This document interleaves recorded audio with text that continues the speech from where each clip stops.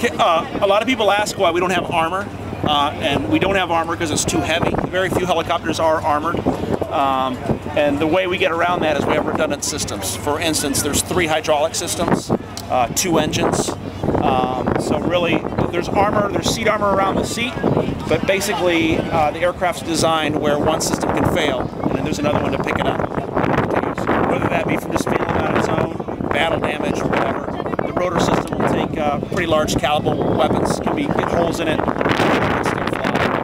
we get around those redundant systems.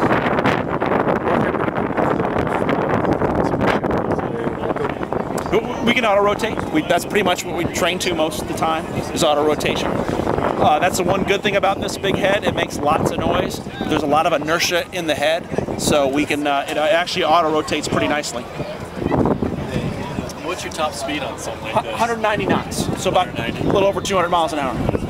That's what's your like a normal cruising speed 140 or 150. If we're full loaded up with ordnance, probably 135, 140. If we're gonna get to 190 knots, it's gonna be in a dive. okay. Yeah. Backseater's the pilot then? Uh, you can fly it from either seat. Okay. You can shoot the weapons from either seat. Uh, Okay. You don't have like a front seat or back seat qual, so they're, really? they're both pilots. Um, so it really depends on what kind of mission we're doing, whether you're, where the aircraft commander is going to sit. Okay. That's interesting.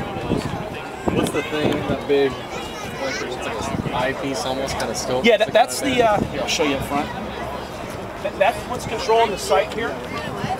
Okay. Uh, it's got an infrared sight, you know, uh, forward-looking infrared. There's a TV. There's a direct view optics, basically like binoculars, and then that's where your laser designator is, um, and pretty much all your, your sight systems up front.